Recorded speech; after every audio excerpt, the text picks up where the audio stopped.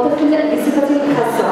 فالطفل عندما يرسم شيء معين فهو يعكس ما بداخله أو يمكن الاعتبار على أن الرسم هو بمثابة مرآة يرى فيها الطفل نفسه فإن كتب كان صادقا في كلامه.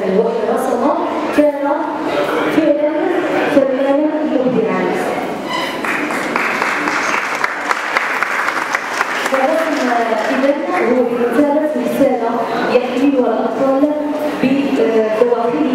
إلى أو يمكن اعتبارها كذلك شكري إلى الجمعيتين الجمعية قطار المستقبل بالعرائش التي يترأسها الأستاذ أشرف طربة وكذلك الأستاذ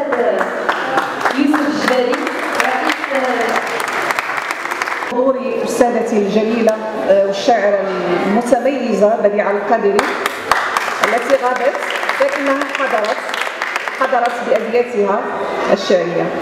شيء آخر أريد التنويه به هو أن تلامذتي أشكر التلامذة أو التلامذة الذين حضروا وكان الحضور يكون أكثر لأن لو كانت الندوة قبل الامتحانات المهم من حضر كانوا تلامذتي فأصبحوا تلامذه واصدقاء للفنان عبد الحكيم الحراء.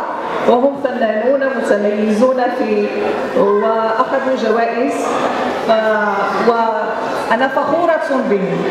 أنا أفخر لأنني درست هؤلاء وأخص بالذكر حسين شلبي أنوار القاسمي وعبد الصمد فانت فنان أيضا في مجالك الذي أنت ماض فيه. فكل التوفيق لكم جميعا.